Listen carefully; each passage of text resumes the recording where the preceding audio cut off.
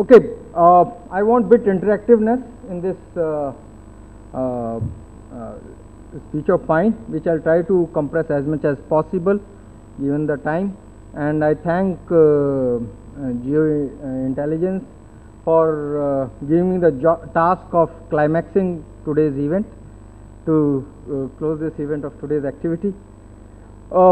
Before I start, I like to, with, with, with, due respect, I like to differ with General Banerjee.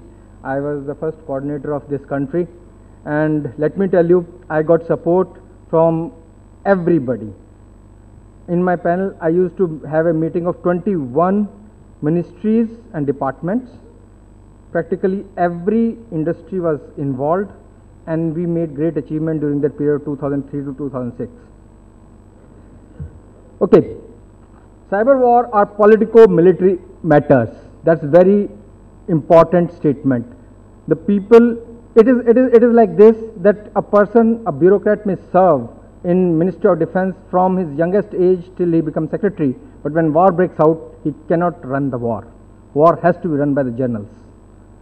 This part has to be well understood when we talk of cyber war. First thing. Second thing, the nature of cyber war is similar to naval warfare where there is no boundaries. Your enemies, neutrals, big, small, all around you. The only sign is their flag. The flag they are flying is the only sign you have. Similarly, in the in the uh, cyberspace, the IP address is the sign. I'll cover this uh, next 15-20 minutes. I'll try to push as fast as possible. In the Tallinn manual I discuss, I'll talk of geolocations in cyber war, in apps and Computrace, and I'll discuss s- cyber operations which are actually taken place. I'll not try to draw the information from my predictiveness, but lead you through the actual operations which have taken place in this uh, field. Tallinn manual has been published recently. It talks on international law of applicable cyber warfare. It has got definition on use of force. It's got definition on cyber attack. Now that these things stands defined to some extent, which are not undefined. In jurisdiction issues, it talks of territorial part. That territory is where the jurisdiction will decide. Territory means GIS. It is straightway linked to it. Geographical limitation, it lays down in Rule 21. Again, uh, that's why it has become more and more important that IP addresses get linked to geographical locations at some stage in cyberspace. So, the important aspect is when tomorrow the, the, this manuals and this uh, law of armed conflict or law of cyber conflict will come into play only when there is a clear winner and losers, and winner wants to pursue the case of human right violations, and then this law will become important, and otherwise they are meaningless statements. Okay, well look at quickly on apps on the cyber war component.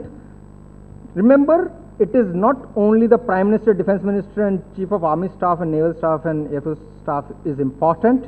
Every one of you is important to enemy.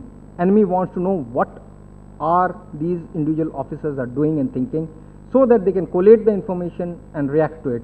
The reaction because journals takes input from all the people. So, given a choice, they want to collate information about you. Let's look at the app. The example I am giving is, is not the only one, the practically 95% of them. Everyone has downloaded Twitter in their mobile phones. Just watch what happens to Twitter. When you try to download Twitter, this is what appears on your screen.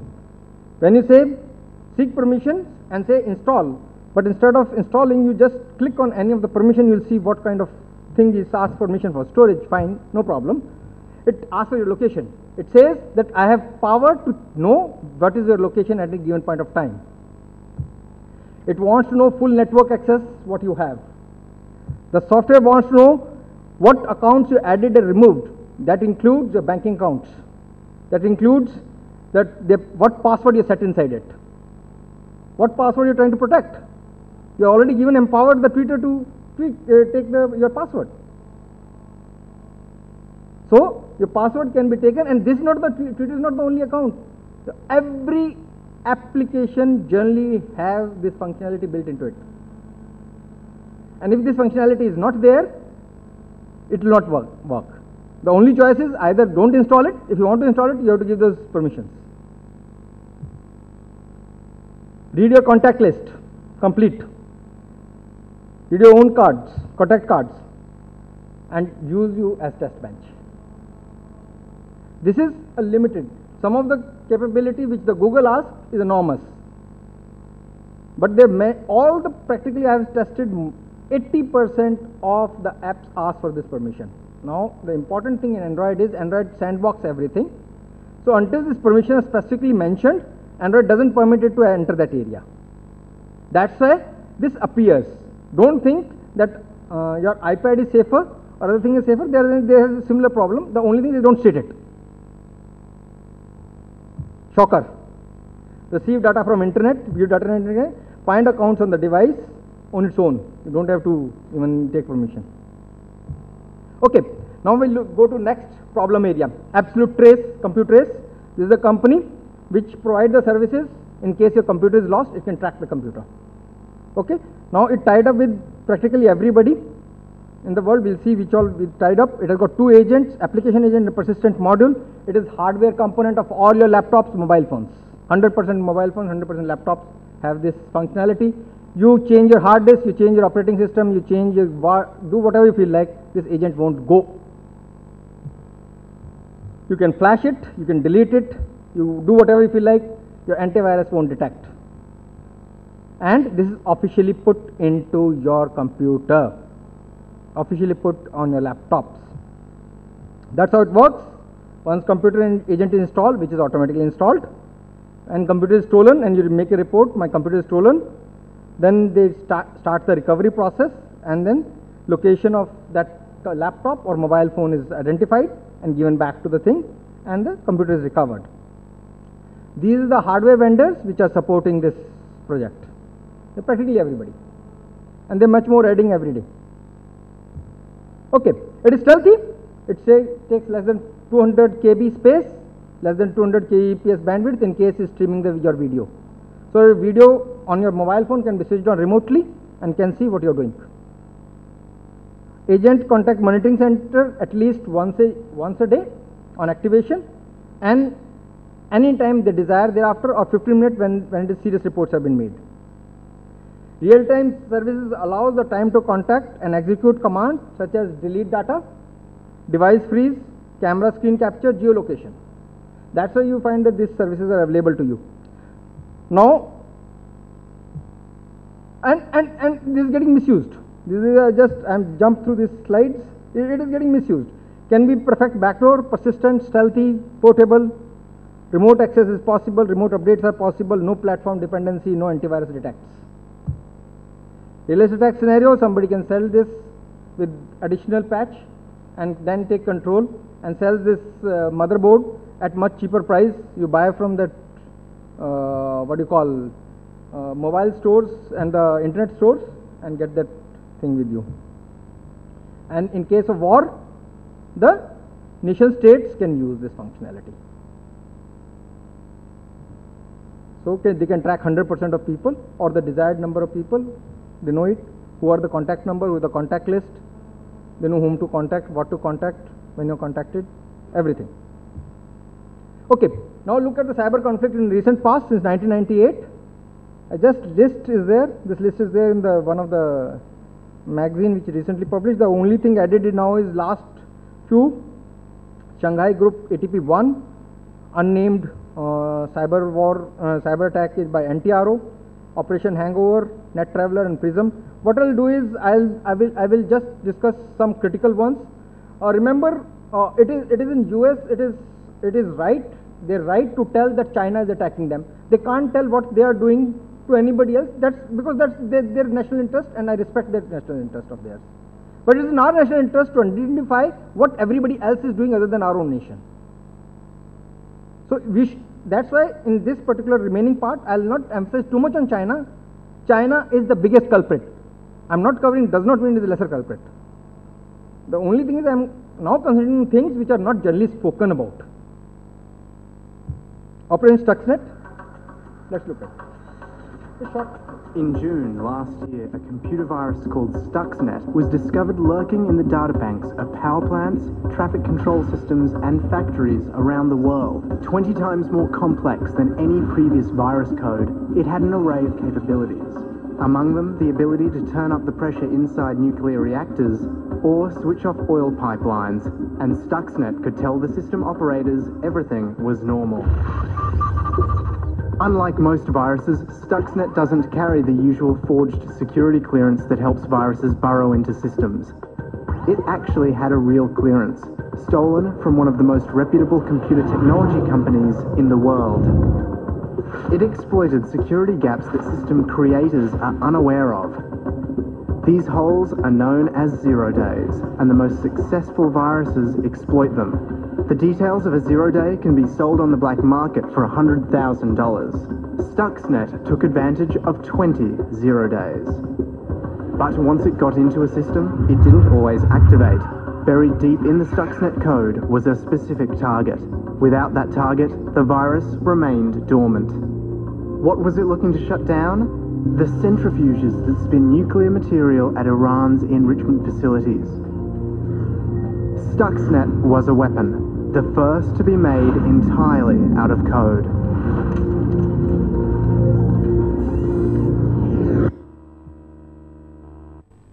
Okay, undoubtedly it is state sponsored because amount of multidisciplinary requirement, knowledge of deep inside of uh, process logic controllers, the target is very specific and knowledge of personal behavior, the way it got loaded into the nuclear plant is a process, there is no time to explain that, but it requires the knowledge of the people, how they behave. So the human, human intelligence was also important, that how that nuclear plant people are working. That's, that's important and use zero day vulnerabilities as I said and authentic digital signature. Structureness, geographical distribution, please note carefully. India is one of the highest infected countries by Stuxnet, though it has not affected us because we were not the target. Structures family that is Flame and Duqu attacked these areas. We had case of one general dying in a simulated attack using probably using Duqu. There is an actual death taking place. Okay, Operation Orchard. This is very fantastic operation. I don't know how many. uh, Okay, can you raise hand? How many people have heard of this operation? How many people have heard of this operation? Okay, only one, two. That's it. It is it is operation fantastic in quality. The problem is that Syria was building a nuclear power plant without the knowledge of the world. Israel realized, Israel reported the matter to UN Security Council. They tried to do everything. Syria didn't respond, world didn't respond. Israel took a unilateral decision to demolish it. Okay? Now in this unilateral decision, they carried out attack from Haifa, carried out deep inside 400 kilometer inside the uh, is Syria and came back. Not a single weapon was fired in self-defense. Not a single weapon. They flew through and through the country. Why it is not fired? Because they already planted a malware in their anti-aircraft control system. So, the anti-aircraft control system was functioning properly except not telling anything about the targets of Israel. They carried out attack, this is real attack, it's not joke, it has happened. Okay, next one. Here is a hunch, here is not the truth, I have no evidence, but because I studied uh, Operation Orchard, I have reason to believe because of the Operation Orchard that Operation Neptune Spear Okay, we'll go ahead. This, this is what has happened to the nuclear site. Demolished. Operation Nep Neptune Spear. You, you remember Osama bin Laden got killed? In that, Pakistan Air Force could not detect the US air presence at all for 255 kilometers. They came, carried out attack. They have not detected it. Do you think that Pakistan Air Force is such useless force? If that is the situation, war distance is just 145 kilometers, let's demolish. And do it. Can our Air Force say that? They cannot do it. Please. Whatever kind of technology you apply, except my, percep- my perception is their system were subdued the way it was subdued in Operation Offer. That's my perception. I may be absolutely wrong. Mandiant, this is this is uh, uh, ATP one, which is of China. So there, there is a reason that key finding has been made that Chinese government is involved, PLA is involved in this activity. And let me tell you, in while carrying out audit under 27001 in various companies, I have found practically firewall log of 100% companies I have, I have tested till now have a connectivity going back to China. So that's the level of infection we have in our country. It, it, is, it is to a platform surveillance against the national security interest and also used for industrial espionage. It used extensive social engineering tactics in- against the Khalistani groups, against the Pakistani senior officials. This attack was carried out, and this is the infrastructure of Operation Hangover. Just note this, I'll compare it with the other one. Mandiant was much simpler than this. Okay, we'll not go further detail. This takes out all kinds of documents. The target is primarily Pakistan.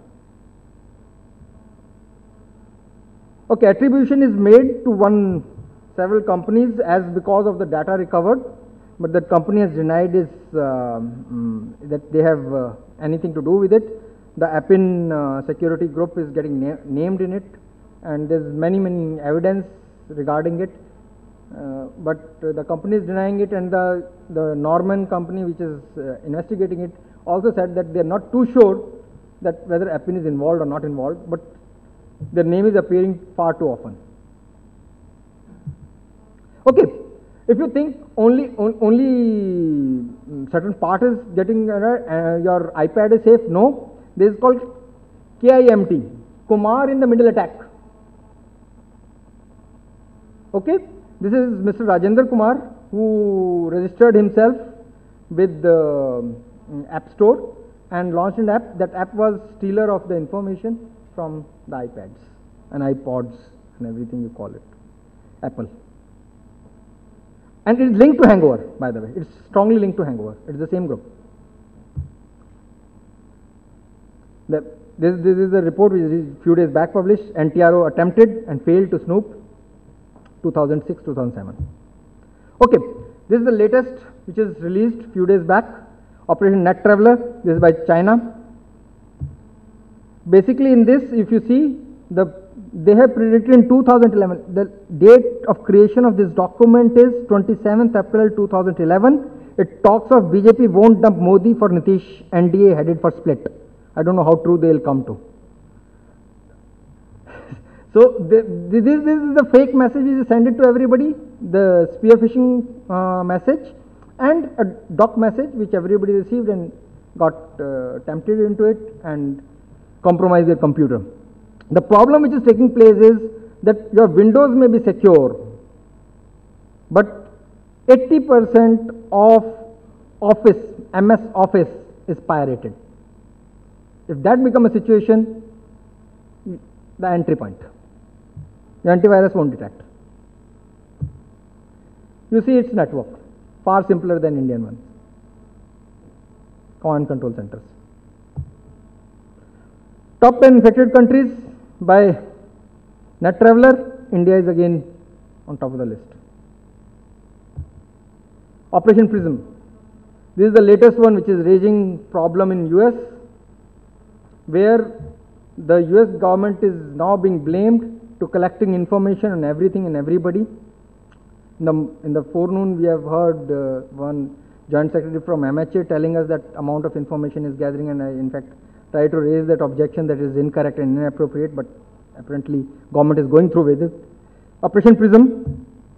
Operation Prism has, the fourth slide has been released till now.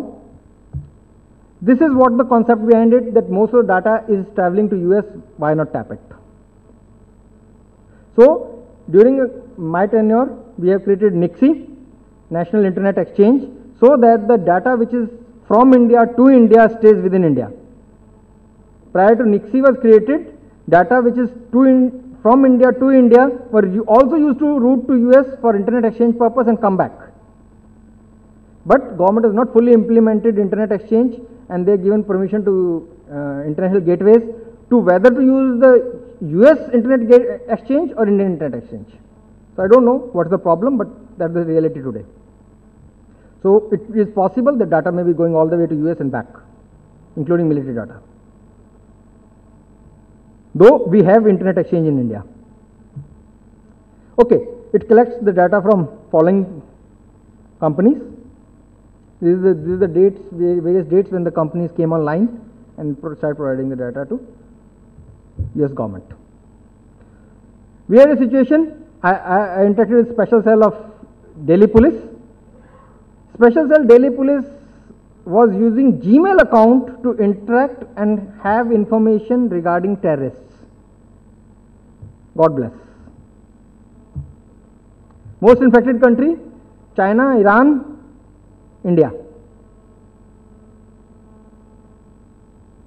So we are the center of gravity whether we like it or hate it. And we are not mending our ways. That is the reality. Now, US is banned to collect data on US person, US citizens, and so does said uh, the US president. And he said, I have not collected until unless it is necessary. Let's accept that.